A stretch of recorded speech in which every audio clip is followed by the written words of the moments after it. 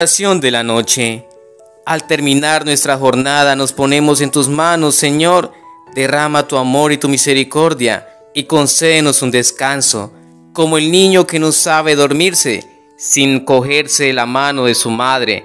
Así mi corazón viene a ponerse sobre tus manos al caer la tarde, como el niño que sabe que alguien vela su sueño de inocencia y esperanza.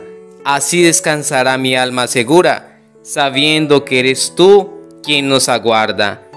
Tú endulzarás mi última amargura, tú aliviarás el último cansancio, tú cuidarás los sueños de la noche, tú borrarás las huellas de mi llanto.